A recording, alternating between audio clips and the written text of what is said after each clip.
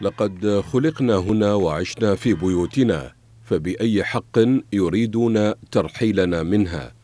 صرخة فلسطينية من قلب حي الشيخ جراح في مدينة القدس المحتلة حيث تواجه عائلات فلسطينية قرار سلطات الاحتلال الصهيوني بترحيلهم من منازلهم والاستيلاء عليها.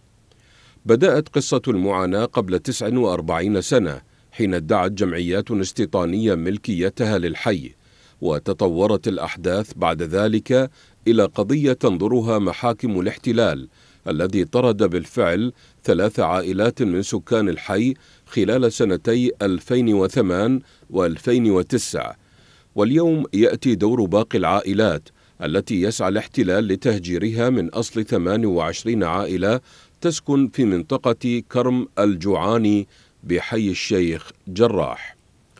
أصحاب المنازل المهددة بالإخلاء في الحي يؤكدون أن الأمر جزء لا يتجزأ من قضية القدس وفلسطين بصفة عامة فيما يعانيه أهالي الشيخ جراح يعاني منه أيضا أهالي بلدة سلوان وأحياء وادي الربابة والبستان ووادي الجوز وما يطلق عليه الاحتلال منطقة الحوض المقدس التي تحيط بكامل البلدة القديمة من القدس.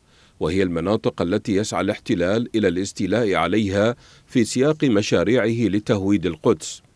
وعلى الرغم من مرور أكثر من أربعة عقود على القضية إلا أن محاكم الاحتلال لم تناقش ملكية الأرض بل اكتفت بوثيقة لا أصل لها تقدمت بها الجمعيات الاستيطانية بينما تجاهلت ما قدمه الفلسطينيون من وثائق تثبت حقهم في ملكية أرضهم ومنازلهم.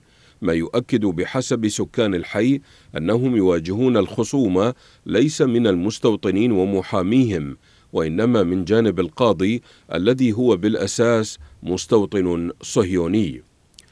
وأمام هذا التعسف الصهيوني والتجاهل الدولي فإن السكان المقدسيين لا يرون بارقة أمل تنقذ الحي وسكانه سوى بمحاولة التوجه إلى المحكمة الجنائية الدولية علها تعيد لهم حقهم في وطنهم المسلوب.